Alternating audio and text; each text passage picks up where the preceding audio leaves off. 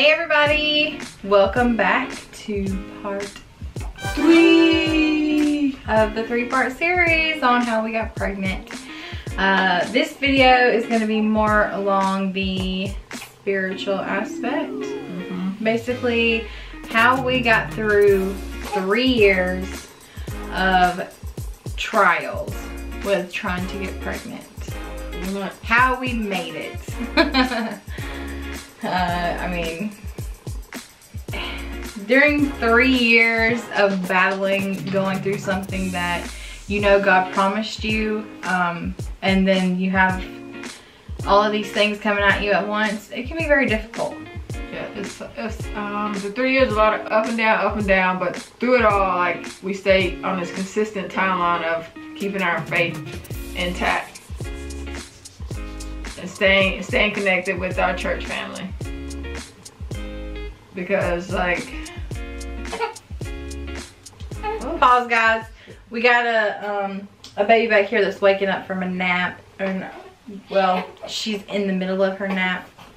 She's in the middle of it she doesn't take she's a very light sleeper you guys. Like at night she sleep yeah i'm talking about you. Look at her smiling. She sleeps all the way through the night but during the day her naps she will wake up in like five or ten minutes from falling asleep. Ready to go. See i'm ready now. You ready? All right you on camera. Okay. So I was saying how it was an emotional roller coaster ride, but like, and the doubt comes in, and then, and then all other like depression can come in. Yeah, um, for me, there was a lot of feeling like there was a lot of depression and feeling like why can't my body do what it's supposed to do um, you feel like a failure as someone that's going through infertility um, problems um, I, I know it's an awful word to say, but honestly, like that was truly, honestly, how I felt at the time. It was kind of like tons of women get pregnant all the time and some people get pregnant and they don't even want their babies. And why can't we get pregnant? Like why are we having to wait so long when we knew God had told us he was going to give her to us? Um, we, we knew that was a gift that was coming. We just had to get ourselves through those three years of waiting, being patient, trying to hold on to ourselves. Pretty much, yeah. Um, I mean, the main thing that we grabbed onto first was our church family. Um, if you don't have a church that you're a part of, because I know there's a lot of um, churches out there that have hurt a lot of people, um, whether you are straight, gay, black, Mexican, Indian. I mean, there's no, there's churches everywhere that you can possibly have gotten hurt at. Mm -hmm. So we are blessed to be a part of a church that has just taken us in and we love every single one there. So if you don't have that, um, we hope that you can find that. Um, also, we have churches that um, are our church. They're they're sister churches. They're sister churches in our network that are in all different states. And then we also offer online. So if you guys want more information about that, please message us because we would be happy to direct y'all to whichever one fits your needs. We can put you on the right path of getting connected with the right people. Yes. Yeah. So being able to know that we had a support system that we could communicate with, that there was always counseling if we needed to talk to someone, mm -hmm. um, you know, that they were literally just there for you if you needed them. That was the best thing that I think could have been there. Yeah. It just, it just helped remove the doubt and know that this is something that we wanted so hold on to it and and prepare and prepare yourself for the for the outcome. Yeah. Um with infertility um, pulling off of each other and trying to be there for each other was also another big part because um, it could be very damaging and hard for your relationship when you're going through this. Yeah.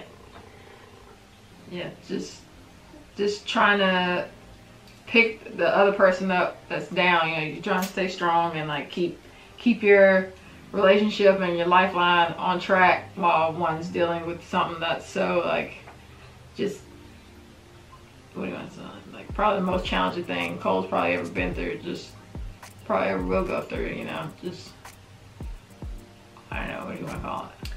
I, I'm just I, that I guess. Straight, straight. I mean, emotional. Like I've known Cole for ten years, and that and what we went through was the most emotional thing I, we'll probably ever go through. I would say, or I hope so. At least I hope it doesn't get any worse than that. Um, I wouldn't wish it on anyone. Um, I wish that everyone that wanted to have a baby in the world could have a baby because I mean I know the toll that it takes on you and like I would I would totally do it all over again because she's worth everything to us but um it's just a lot it really is a lot and I mean there there were times that with the highs of emotions and going through everything that you can be nasty to your spouse and you just need to try to refocus yourself and if there are times where you're feeling like you want to lash out dive into the word and start reading your bible and talk to jesus and pray and you know start going that route instead of damaging your your spouse because that's basically what you're doing when you lash out at them and they're feeling attacked and then there's nothing that they can really do to make you feel better at that moment. Right. Um, the biggest thing that helped along the way for us was going through our scriptures, like having daily scriptures that we went through. Yeah. And pulling on that to, to know that, okay, God's word says this, so I'm believing that this is what's going to happen.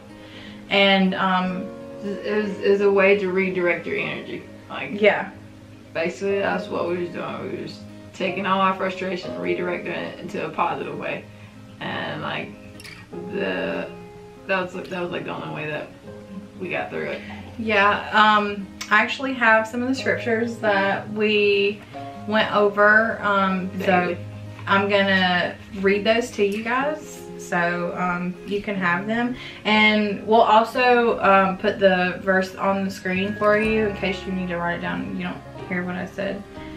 Um, so one of the main ones that a lot of people I'm sure have heard and know is 1 Samuel 1 27 and it's for this child I have prayed and the Lord has granted me my petition that I made to him. So with that, I, I, always took it as, you know, we are praying for this gift and God is going to give it to us. He said he was going to give it to us. He's going to give it to us. And that just kind of helps reiterate what you're thinking and feeling and bring it back around to help you be positive in that time. Um, so another one that I really loved was Romans 8, 18. And it's for, I consider that the suffering of the present to me are not worth comparing with the glory that is to be.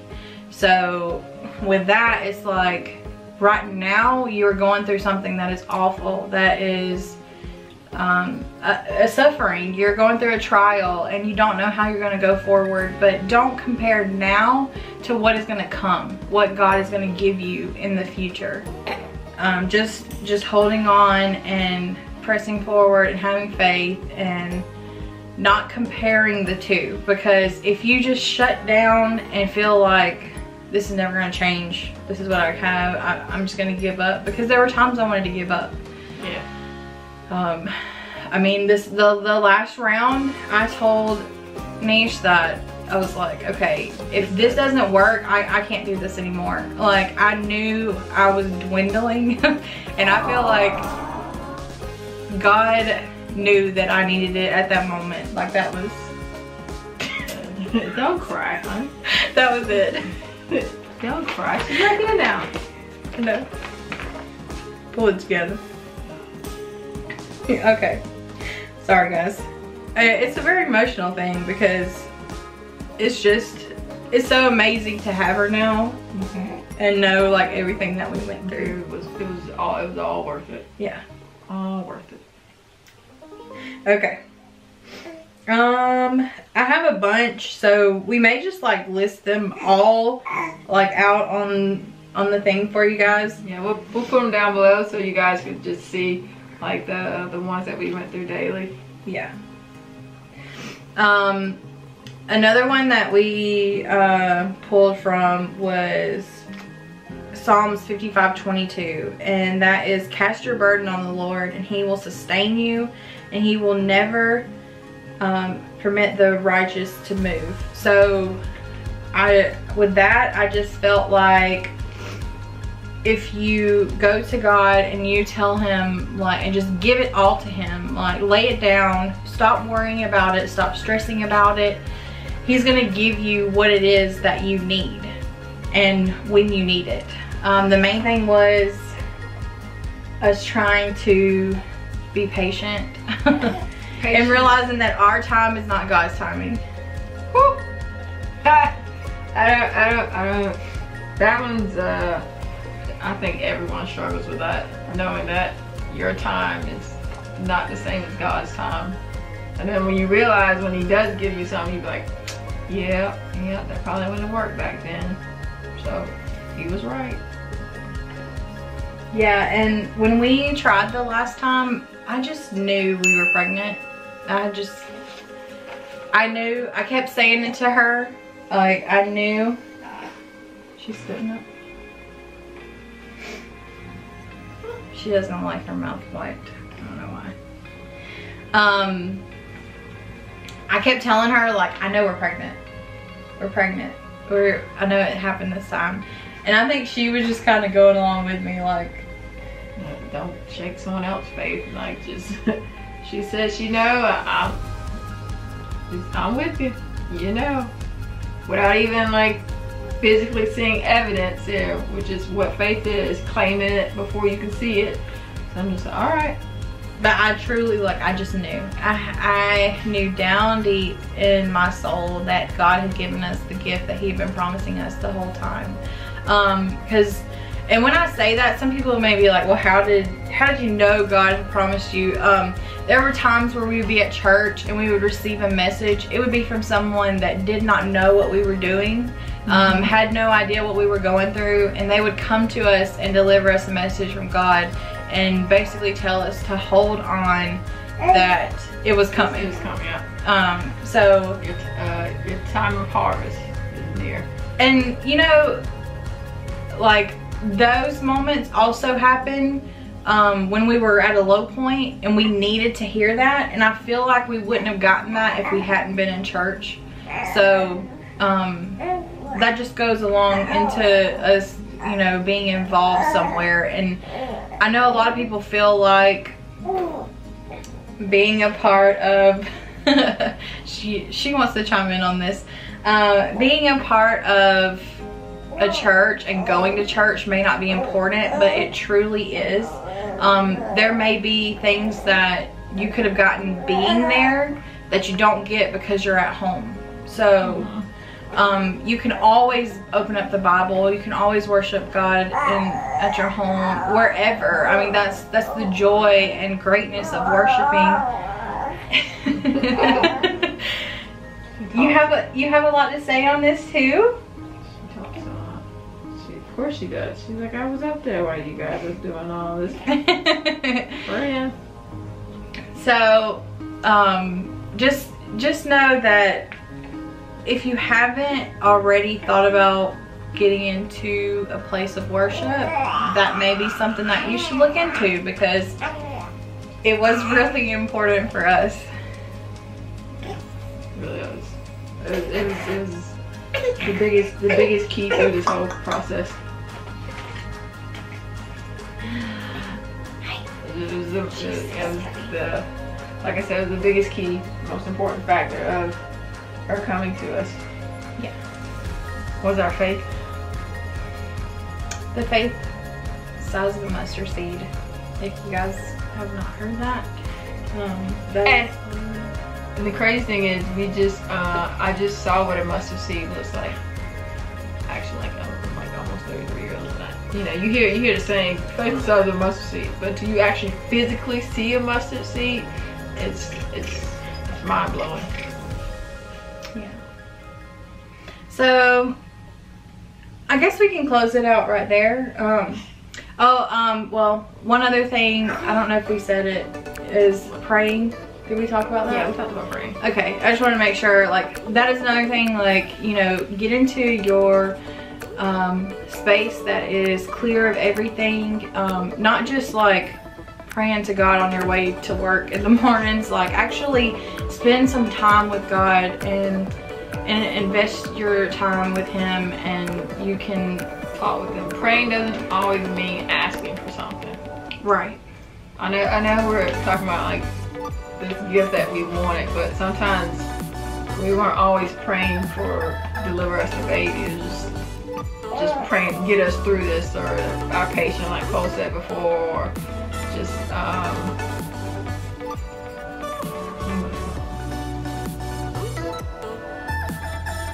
For.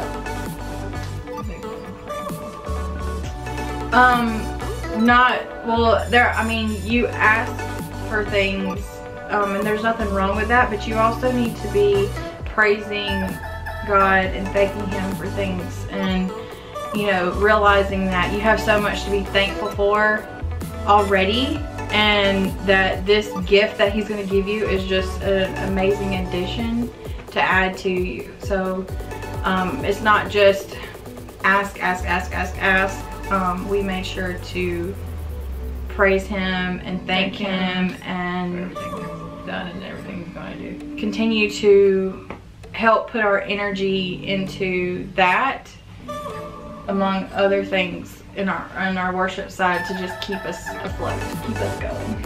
Yeah. So um, I think that's it.